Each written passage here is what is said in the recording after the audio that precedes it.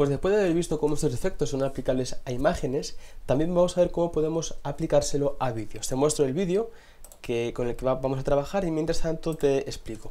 La cosa está en que en este vídeo vamos a poder aplicarle los mismos efectos e incluso podremos combinarlos. Es un, vídeo muy breve que grabé la última vez que estuve en Londres imitando a la guardia londinense.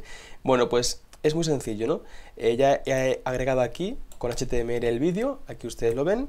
Este simplemente es código HTML para insertar el vídeo, igual que anteriormente teníamos las imágenes.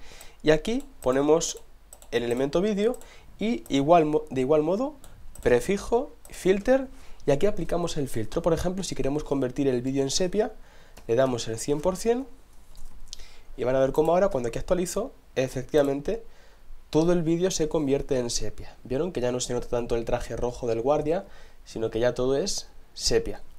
Eh, de igual forma, pues si yo esto lo quiero combinar, y aquí le quiero dar alguna otra característica, por ejemplo, un poquito, bueno, tanto desenfoque, ¿no? Porque hemos visto, vamos a darle brillo, vamos a darle brillo, ahí ven cómo está más, más brillante, ¿no? Se ve con más iluminación ahí, ahí lo tienen, ¿verdad? Bueno, pues de esta forma pueden combinarlo.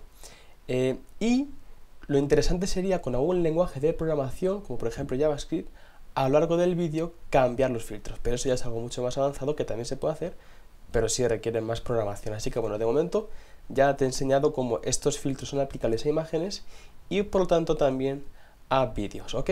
Pues espero que te haya gustado el curso, así que te animo a que sigas al tanto de todo el contenido que estoy creando. Un saludo.